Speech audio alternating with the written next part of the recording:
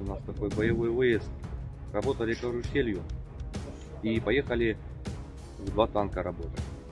Сначала первый танк поехал штурмовать укрепрайон. Там расстояние было 20-30 метров. Противника так получилось, такой укрепрайон. Ну, а мы стояли на подхвате, получается, он приезжает, мы их меняем, также начинаем отрабатывать. Нету, нету, нету ребят. Ну, смотрим, привозят их на бэхе. Mwiriwe.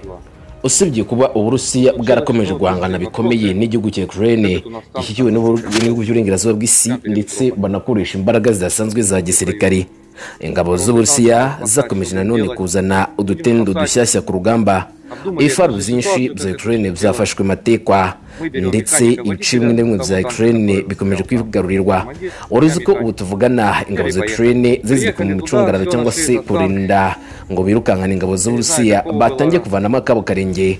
Bati aho gupfa none twapfa ejo reka twebwe twisubirire inyuma.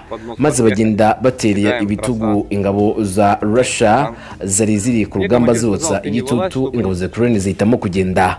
Ni mu gihe kandi ibirenze aho ngaho ingabo z'uburusiya na zo ngo ariko zikomeje gukorerwa ibyamfura mbi usibye kuba uburusiya bwaritwaye neza mu myuzo ya mbere ingabo za ukraine ziri kwiga andi magezi cyangwa se ubundi buhanga bukomeye bituma bahagarara bwuma kursk bikomeje guhindura isura ni mu gihe ukraine yasubiye inyuma ikayikomeza kutangaza neza ko umunsi uza umwe bakirukankana ingabo za russia nubwo ko uburusiya bwahawe na iran misile zo gushyira mu kirere muri orbit ndetse izi misile zo gutera kuri ukraine zikazananwa na za satelite zagomba kujyanwa mu kirere ngo zicunge umutekano. Uraza kuzemera?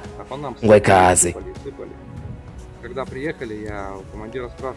mpere kuri iyi nkuru aho iran bikomeje kwandika amateka y'akataraboneka. Ndetse no kuzana impinduka mu isi imikorere idasanzwe irimo kunyuranya n'ibisanzwe bimenyerewe mu isi. Ku gatandatu iran yohereje satelite ebyiri zakozwe zakozwe n'abanya iran zoherezwa mu burusiya kugira ngo zishyirwe mu kirere n'imodoka yo mu kirere y'uburusiya. Nk'uko ibiro n'amakuru bya tasnim byatangaje. Ubufatanye bw'ikirere buheruka kuba hagati ya russia na iran. byatumye leta zunze ubumwe za amerika zivuga yuko ibingibi bibangamiye cyane kandi bibangamiye isi yose atari leta zunze ubumwe za amerika gusa. Raporo ivuga ko iterambere rya kawusale icyogajuru cyerekana amashusho menshi kandi na hodihod icyogajuru gito cy'itumanaho ari byo gikorwa cya mbere gikomeye cyakozwe n'abikorera ku giti cyabo bo muri iran uburusiya bwohereje satelite ya iran muri orbit muri gashyantare mu mwaka wa makumyabiri na kabiri ubwo abayobozi ba amerika batangazaga ko bafite impungenge. Hejuru ubufatanye bw'ikirere hagati y'uburusiya na iran batinya ko icyo gajuru kitazafasha mu burusiya muri ukraine gusa ahubwo bizafasha na iran gukurikirana ibitero bya gisirikari bishobora kuba muri israeli ndetse burasirazuba bwo hagati. Ubwo muri uyu mwaka wa makumyabiri na kane bongeye gukora ibisa n'ibingibi tasinime yavuze ko kawusale ishobora gukoreshwa mu buhinzi gucunga umutungo kamere gukurikirana ibidukikije no gucunga ibiza. Hode hode. Yagenewe itumanaho rishingiye ku cyogajuru kandi ishobora gukoreshwa mu turere twa kure ahatagira imiyoboro ya interineti cyangwa se y'itumanaho ku isi. Muri nzeri irani yakoze icyogajuru cyayo cya kabiri. Maze batangiza gufungura tabe uyu mwaka bakoresheje roketi yubatswe n'abashinzwe kurinda impinduramatwara irekurwa ryabaye mu gihe amerika ndetse n'ibihugu by'i burayi byashinjaga tayarani kohereza misiri bakisitike muri russia zishobora gukoreshwa mu ntambaro yo muri ukraine. Irani ikabihakana ariko ku bufatanye bwa irani na israeli ho harakomeje kuba byinshi. Kuba israeli izi neza yuko irani na russia bakomeza gukorana ndetse leta zimwe za amerika na zo zikabikurikirana. Babona neza yuko ibiteye impungenge ikomeye cyane ku bihugu byo mu burasirazuba bwo hagati no ku isi muri rusange kuba uburusiya bwarakiriye misile nyinshi ziturutse muri iran ngo zikoreshwe ku rugamba muri ukraine na byo byashimangiwe ubufatanye buri hagati y'ibihugu zombi ndetse n'ineza ya buri gihugu yifuza ku kindi. Kuba kandi uburusiya bwakemera kwakira satelite za iran ngo zoherejwe muri, muri orbit ni ikimenyetso cy'ubufatanye budashidikanywaho ndetse no kuzuzanya muri kino gihe gikomeye. Ndetse usibye ibingibi leta y'uburusiya na iran byiyemeje no guhindura uko isi isanzwe itegetswe muri kino kinyejana. Bakazana imitegekere mishya y'isi niyo order order.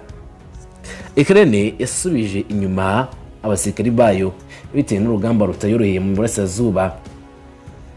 Kuri iki cyumweru ibitangazamakuru bya leta y'uburusiya byatangaje ko ingabo za ukraine zatangiye kwikuramo mu mujyi wa toretski mu gihe imirwano ikomeye yo mu muhanda ikomeje kuba mu gace ko mu burasirazuba. Ntaramakuru y'ibihugu ndetse n'igihugu cy'uburusiya tase byatangaje ko kuri iki cyumweru bitangaza ko hari ibintu biteye ubwoba ku ngabo za ukraine muri toretski newsweek na yo yageze ku gisirikare cya ukraine na minisitiri w'ingabo y'uburusiya ikoresheje imeri kugira ngo bagire icyo batangaza. Umujyi wa donetsk ndetse na toretski bicaye mu majyaruguru ya advika ahahoze ari ikigo gikomeye ukraine uburusiya bwafashe muri gashyantare. No mu majyepfo ashyira uburengerazuba bwa bakmat bwaguye mu ngabo za moscow muri gicurasi na makumyabiri na gatatu. Uburusiya bwabaye buhoro buhoro bukora ibikorwa byabo kandi bugenda buzamuka gake gake kugeza bwigaruriye ibice byinshi byo muri donetsk. Umwaka wose hamwe mu turere tubiri tugize donbasi ingabo z'uburusiya zahoraga zibanda ku bitero n'iza ukraine na zo zibanda ku bitero byangiza ibikoresho by'ingabo z'uburusiya mu rwego rwo gutuma uburusiya budakomeza kujya mbere. Icyakora basanga imbaraga zabo ndavuga abanyakirene bafite n'imbaraga z'uburusiya bitagereranywa. Imirwano yabaye ndende hafi ya toreski ndetse no mu burengerazuba bwa advika mu gihe mosiko igenda ishyiramo ingufu kugira ngo igere ku isoko ry'ibikoresho bya ukraine no gutwara abantu n'ibintu i pokrovski. Kremlin yakusanije icyarimwe umutungo w'ibihugu by'uburengerazuba bwa bakmat mu gikorwa kimaze igihe kinini cyo gufata umujyi wa shasiviyara kuwa mbere umuvugizi w'umutwe w'ingabo za Luhanski ukomoka muri Ukraine ukorera mu burasirazuba Majoro Anastasia Bobonivikova yavuze ko imirwano yaberaga ku bwinjiro bwose bwinjira mu mujyi wa gatanu umuyobozi w'ingabo z'igihugu cya Ukraine muri Toretski Vasil Leshchenko yatangaje ko Uburusiya bwafashe umujyi uri hagati ya mirongo itanu mirongo itandatu ku ijana. Muri make uyu mujyi ufashwe bigeze kuri mirongo itandatu ku ijana y'ibice biwugize. Jonajanski ati umwanzi aragerageza kandi arakora ibishoboka byose kugira ngo yigarure umujyi burundu mu gihe gito gishoboka. Ariko ingabo z'igihugu cya Ukraine zitanga ibihano bikwiriye kandi zifite imyanya yabo ishoboka. Bomavikova yasaga nkaho avuguruza ibi avuga ko gatanu ko Uburusiya bwagenzuraga gusa igice cy'uburasirazuba bwa Toretski ikigo cy'ubushakashatsi cy'intambara gikorera muri Leta Zunze Ubumwe za Amerika cyatangaje kuwa gatandatu ko ingabo z'uburusiya zigenzura nibura mirongo itatu n'umunani ku ijana by'umujyi. Yongeraho ko moscow na kiev ubu barimo kwishora mu mirwano ikomeye yo mu mujyi wa toretski ku cyumweru igisirikare cya ukraine cyatangaje ko uburusiya bwagabye ibitero cumi na bitanu hafi ya toretski mu masaha makumyabiri n'ane ashize ku gatandatu minisiteri y'ingabo y'uburusiya yavuze ko yibasiye ingabo za ukraine mu ngingo nyinshi z'umurongo w'imbere i donetski ku munsi wabanjirije uwo. Harimo n'amajyepfo ashyira uburengerazuba bwa toretski kandi ako kanya uburengerazuba bw'umujyi bwari bwibasiriwe. Munavekova yavuze ko uburusiya bugerageza gusibanganya umujyi n'imbunda. Bukoresha amayeri nk'aya kremlin yakoresheje mu kurwanya indi midugudu ya doneski mu gihe cy'intambara. Nyuma y'ibyo bikaba biteye ubwoba ko uyu mujyi nawo mu masaha make gusa uri mu maboko y'ingabo z'uburusiya. Kandi ingabo za zakomeje kugenda zitangaza neza yuko ingabo z'uburusiya ngo zikoresha imbaraga z'umurengera ari niyo mpamvu bifuza ibikoresho birenze by'uburengerazuba bw'isi bishobora kubaniza igihugu cy'uburusiya bitabaye ibyo gutsindira urugamba bizabagora umukambwe avuga ko ibikorwa bya Kursk bigaragaza ko uburusiya budafite ngo imitwe yiteguye kurwana. Twinjiye muri Kursk igikorwa cya Kursk cyakozwe n'ingabo za Ukraine cyerekanye ko uburusiya ngo nta mitwe yiteguye kurwana isigaye hanze y'imbere nk'uko byavuzwe n'umukambwe Yevgeny Dikyaki mu kiganiro hamwe na radiyo ya NV ku ya cumi n'umwe ukwakira. Yaba wabaye inararibonye mu ntambara yo mu burusiya na Ukraine akaba yarahoze ayobora batayo ya Yadal yavuze ko kugeza mu minsi yashize uburusiya bwashoboye kuzuza ingabo zabwo neza bwishyuza igihombo butagize uh, bwishyuza igihombo bwagize mu minsi ishize Ryiki yagize ati igikorwa cya Kursk cyashyize ibintu byose mu mwanya wabyo. Igikorwa cya Kursk cyerekana neza ko igihe bamenye ko bitazanyeganyega gusa ko mu by'ukuri bagombaga kwerekana ingabo ziteguye kurwana kandi bakarwana kuko bagombaga gukura izo ngabo ziteguye kurwana mu karere ka Kherson bagombaga gukura ingabo zirwanira mu karere hamwe n'abasirikari bo mu ntara ya Kherson rero mu Burusiya bwose hanze y'intara yigaruriwe na Ukraine hanze imbere y'ibi bitero nta mitwe yiteguye kurwana isigaye. Ikintu cyose gishoboye gishoboka rwose kurubaho cyaba cyarwanishwa cyaramaze gushirira muri Kursk iki ni cyo kintu cya mbere imikorere ya Kursk yerekanye neza. Ku wa cumi n'umwe ukwakira umugambi mukuru w'ingabo z'igihugu cya Ukraine Oleksandr Seleski yatangaje ko Uburusiya bwimuye ingabo ibihumbi mirongo itanu mu murenge wa Kursk zivuye mu zindi mpande. Bigatuma intege nke z'abagizi ba nabi muri Zaporozhia mu turere twa Kherson no ku rugamba rwa Kramatorsk zigaragara. Perezida Volodymyr Zelensky yemeje ko ku nshuro ya mbere ku ya cumi na kabiri Kanama ko ingabo z'igihugu cya Ukraine zagabye igitero mu karere ka Kursk mu Burusiya. Yashimangiye ko iki gikorwa cyatangiye ku itariki esheshatu Kanama cyari kigamije kubohoza imipaka y'umupaka wa Ukraine. Ingabo z'Uburusiya zashoboraga kurasa ziturutse muri Shami ku makumyabiri na karindwi Kanama Zelensky yavuze ko Ukraine idashaka kwigarurira Uburusiya bwa mu gace ka Kursk ibikorwa muri kariya karere ko bibangamira gusa gahunda y'Abarusiya yo gushyiraho akarere ka Befe k'ubutaka ku ruhande rwa Ukraine kugira ngo birinde ibitero biturutse hakurya. Tariki ebyiri nzeri perezida wa Ukraine yatangaje ko igikorwa cy'intara ya Kursk cyagenze neza hakurikijwe gahunda kandi kiri gushoza inshingano. Ku itariki esheshatu nzeri yavuze ko ingabo z'igihugu cya Ukraine zigenzura kilometero kare igihumbi na magana atatu mu ntara ya Kursk hari imidugudu irenga ijana.